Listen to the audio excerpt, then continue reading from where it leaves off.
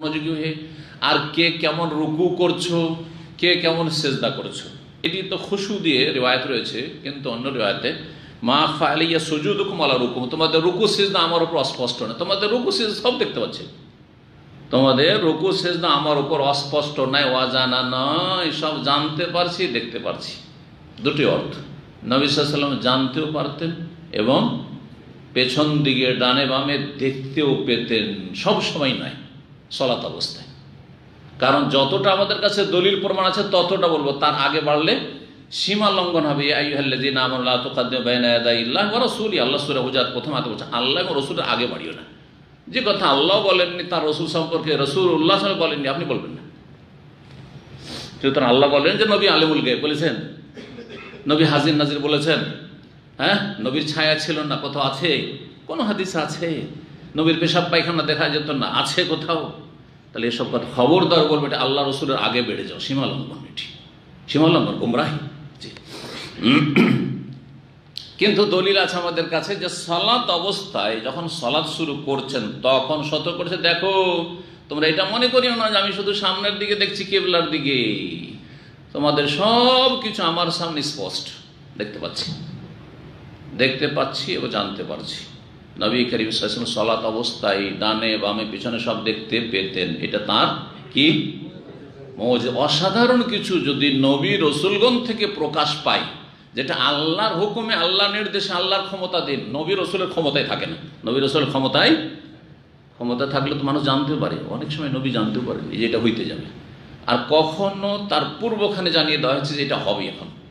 এটা তোমার মাধ্যমে এখন ঘটবে। তাহলে মৌজাদার ক্ষেত্রে দুটোই অবস্থা হয়ে থাকে। এগুলো প্রমাণ করে। এই জন্য মৌসা আলী সাল্লামকে যখন আল্লাহ বললেন যে, তোমার হাতে লাঠিটা কি? বলছে লাঠি। লাঠি কিন্তু আগে থেকে ছিল এই লাঠি নয় যে আল্লাহ আসমান থেকে লাঠি পাঠিয়েছিলেন। ওই লাঠি দিয়ে তিনি বকরি চড়াইতেন। হ্যাঁ? লাঠি আগে থেকে হাতে ছিল, সাধারণ লাঠি। কিন্তু এই লাঠিকে আল্লাহ মৌজাতে যখন পরিণত করলেন, জানেন না মুসা আলি সাল্লাম যে এই লাঠি আবার কি হইতে যাচ্ছে? হ্যাঁ?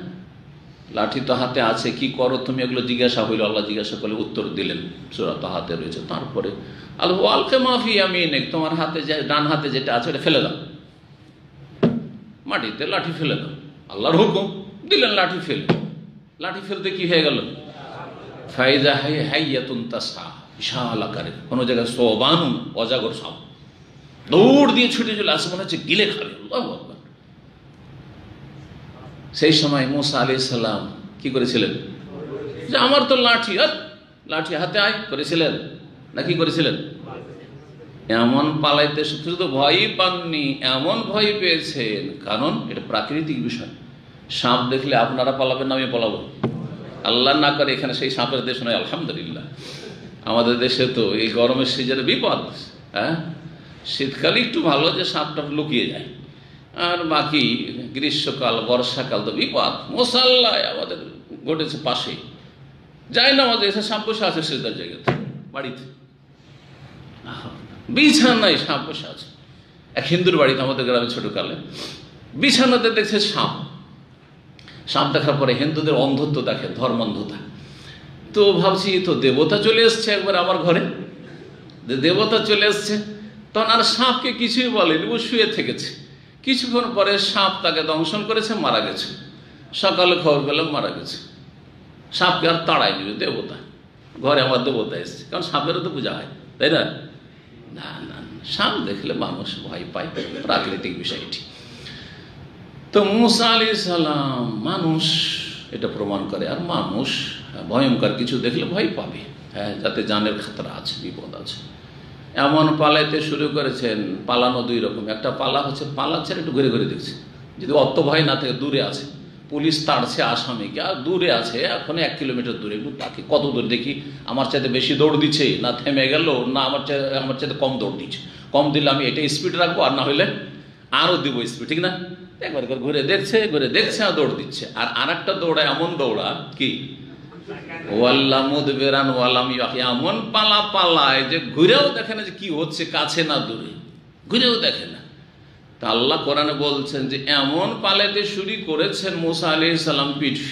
ওয়ালাম একটু ঘুরেও দেখছেন না।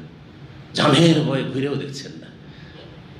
তাহলে যদি তিনি আগে থেকে জানতেন যে, মুসা, এটা তোমার সাধারণ লাঠি ছিল, আজকে থেকে মজেজা কিন্তু, তাহলে ভয় কিসের? তো মজেজা। আমি হাত দিলে আবার স্বাভাবিক অবস্থায় চলে আসবে, তাই না? মজেজা, পালাবেন কেন? তাহলে জানাও ছিল না। পরে বুঝতে পারছেন যেটা মজেজা হয়ে গেছে। আর কখনো কখনো জানতে পেরেছে। নবী করিম সাল্লাহ সাল্লামকে কখনো কখনো জানিয়েছে, পানির প্রয়োজন?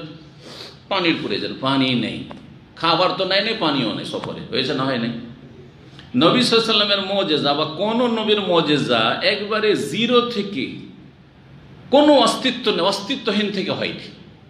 এটা প্রমাণ করে তৌহিদ আল্লাহর একত্ব, যে একমাত্র না থেকে জিরো থেকে হিরো বানাইতে আল্লাহ পারেন কোনো শক্তি পারে না। কথা বুঝতে পারছেন? তৌহিদ। এই জন্য নবী করিম সাল্লামের কোনো মজেজ পাবে না যে কিছুই ছিল একটা দানাও ছিল না, এক ফোঁটা পানি ছিল না, আর সবকে পানি খাইয়ে দিলেন। একটা দানা পানি কিচ্ছু ছিল না, এক মুষ্টি কোনো কিছু ছিল না, আটাও ছিল না, আর এক টুকরো গোস্ত ছিল না, আর অনেক লোককে খাওয়াই দিলেন। এইরকম কোনো ঘটনা ঘটে ঘটেনি গভীরভাবে গবেষণামূলক চিন্তা করে দেখবেন মজেজাগুলি দিয়ে।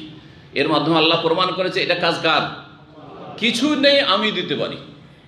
কিন্তু কোনো মানুষ মজেজা তো দেখাইতে পারে না। যে কিছুই নেই আর দেখিয়ে দিল, তাহলে কিছু থাকতে হবে। এই জন্য নবী বললেন যে, যাও, দেখো, এক বাটি, এক ঘটি, এক লোটা কোথাও পানি নিয়ে আসো, একটু পানি নিয়ে আসো। এক লোটা পানি নিয়ে আসা হলো। আর পানিতে হাতে রেখে দিলেন। মানে কি করলেন? এবার আঙ্গুল রেখে দিলেন আর আঙ্গুল রাখতে এই আঙ্গুলের তলা থেকে একদম ফোড়া ছুটে গেল। ফোয়ারা ছুটে গেল, এত ফোয়ারা ছুটলো। পানি পান করে আর যত তাদের কাছে কলস ঘাড়া ছিল, সব ভর্তি করে, সব ভর্তি করে নিশ্চিন্ত হয়ে গেলেন যে এই সফরে আর পানির কোনো অভাব নেই। এইভাবে খাবার ক্ষেত্র তাই হয়েছে। অল্প কিছু খাবার আছে, আর সেটা থেকে খেতে শুরু করল, খাও খাও খাও খাও খাও, খেতে খেতে খাওয়া দাওয়া শেষ হলে আরও হচ্ছে বেশি হয়ে গেছে। কিন্তু না থেকে কখনো খাওয়াইতে নবী করিম সাল্লাম পারেননি। কার হাতে থাকে মজে যায় আল্লাহর হাতে। ওই রকমই, যদি আল্লাহ কোনো নেক বান্ধা তৌহিদ সন্ন্যতের অনুসারী হয়, শির্ক, বেদাতকারী পীর, মরিদের ব্যবসায়ীরা নাই, যাদেরকে অলি মনা করা, মনে করা হচ্ছে। আসল সত্যিকার অলি হচ্ছে, সাধারণ অলি প্রত্যেক মুসলিম আল্লাহ আর বিশিষ্ট অলি হচ্ছে কোরআন সন্ন্যার এলম যারা রাখে এবং কোরআন সন্না অনুযায়ী যারা আমল করে, তৌহিদবাদী সন্ন্যতের অনুসারী যারা। কথা বুঝতে পেরেছেন না? শের বিদাত নিয়ে কখনো অলি উল্লাহ হতে পারে না, অলিউ শয়তান হতে পারে, জি। অসৎ লোকদের অসাধারণ কিছু দেখা যেতে পারে।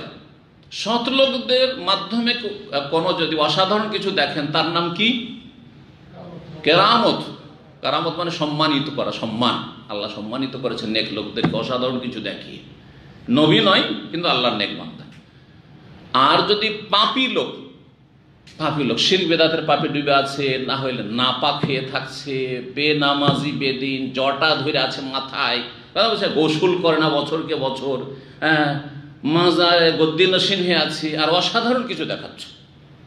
জাদুকর হ্যাঁ আসামের কি বলে, আসামের ওইদিকে আছে, আরও একটা জায়গা আছে, কি জায়গার নাম বলে? হ্যাঁ? কামাক্ষার জাদু কামাক্ষার জাদু। এই যে জাদুকর, তারা কি অলিউল্লাহ নাকি? না অলিউল শয়তান? শয়তান বলি তো, তারা কি করে অসাধারণ দেখায়? অসাধারণ দেখায় না? মানুষকে জবাই করে দেখিয়ে দিচ্ছে। মাটির গুলিকে রসগোল্লা করে খাওয়িয়ে দিচ্ছে। তো বলবেন যে, কেরামতি দেখাচ্ছে নাকি? না, সেহের জাদু, সেহের।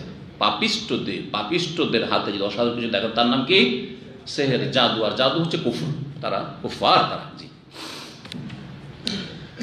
তো নবী করিম সাল্লামের মোজে ছিল যে সলাত অবস্থায় পেছন দিকে ডানে বামে দেখতে পেতেন, শুধু সামনের দিকে না, শুধু সলাত অবস্থায়, কারণ আমাদের কাছে দলিল এটি এটা মজেজা। আর জানতে পারতেন সলাদ ছাড়াও বাইরে ওহির মাধ্যমে যখন যেটা যতটা জানাতেন ততটা জানতে পারতেন। যখন যেটা যতটা জানাতেন ততটা আল্লাহ জানিয়ে দিলে জানতে পারতেন। যেমন নবী করিম সাল্লাহ সাল্লাম মেলা সময় হয়েছে মদিনায় বসে বসে খবর দিচ্ছেন, অমুক জায়গায় অমুক শহীদ হয়ে গেল, অমুক শহীদ হয়ে গেল, অমুক শহীদ হওয়ার পর অমুক পতাকা ধরলো। এরকম ঘটনা কোথায় ঘটে ঘটেছিল? মোতার যুদ্ধে। মোতার যুদ্ধে জর্ডনে। মোতার বর্তমান জর্ডনে, উর্দুনে। কত দূর? দু হাজার কিলোমিটারের বেশি জায়গা। সেখানকার খবর দিচ্ছেন, মদিনায় বসে বসে নবী সাসলাম চোখ ঝরঝর করে পানি বইছে। কোতেলা জায়দুন, কোতেলা জাফরুন, কোতেলা আব্দুল রাওয়াহা, এই এরা শহীদ হয়ে গেলেন, যারা প্রধান সেনাপতি ছিলেন, তারপরে আর ঝান্ডা ধরার মতো কেউ নেই। তখন খালেদিন অলিদ ঝান্ডা হাতে ধরলেন আর তার হাতে আল্লাহ বিজয় দান করলেন, সব খবর মসজিদ নবীতে বসে বসে দিচ্ছেন। এগুলো নবী সামনে কি? মজিজা। কিন্তু সবসময় খবর দিতে পারতেন? সবসময় খবর দিতেন? না দিতেন না। সিরাতুল নবীতে পড়েছেন, বীরে মৌনার ঘটনা। কিছু লোকের আসলো কাফেরা ষড়যন্ত্রমূলক তারা পরিকল্পনা করে যে নবী সাল্লামের বিশিষ্ট সাহাবিদেরকে নিয়ে এসে আমরা খুন করব। ওইদিকে লোকজনকে উৎপা- উৎপাতিয়ে রেখে এসছে, বসিয়ে এসছে। যে আমরা নিয়ে আসলে খুন করবে। আর এসে বলে, আমরা সব তো মুসলমান হয়ে গেছি আর আমাদের এলাকাবাসী সব মুসলিম হয়েছে, কিন্তু তাদের কোরআনের তালিম দেওয়ার কেউ নেই। আপনি আপনার সাহাবাই সাহাবাইকাম যারা হাফেজে কোরআন আর আলেম, জ্ঞানী, তাদেরকে পাঠান, তাদেরকে দিন শিখাবে, কোরআন শিখাবে। সত্তর জন সাহাবিকে পাঠিয়ে দেয় রসুল্লাহ সাল্লাম আর তারপরে ওখানে যে ওরা ষড়যন্ত্র করে বসে আছে, যদি নবী আলেমুল গায়েব হইতেন, নবী হাজির না যেত, ওখানেও তো হাজির ছিলেন। সব তো দেখছেন নবী সাল্লাম দেখছিলেন? দেখলে কেউ পাঠায়?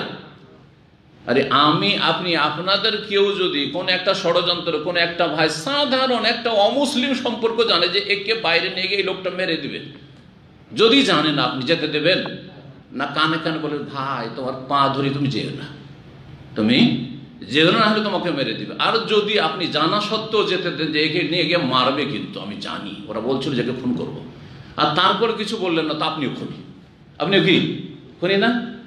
তাহলে যারা নবীকে আলমুল গ্যাব বলে হাজির নাজির বলে, বেরুলেরই ফির তারা নবীকে খুনি সাব্যস্ত করল না নজবিল্লা ঠিক কিনা? নবীকে অপরাধী সাব্যস্ত করল না? জি। এই জন্য যারা যারাই নবী সাল্লাম সম্পর্কে বাড়াবাড়ি করেছে, তার নবীকে অপরাধী সাব্যস্ত করেছে, নবীর মানহানি। আর যারা ঘাটতি করেছে হ্যাঁ তারাও অপরাধ করেছে।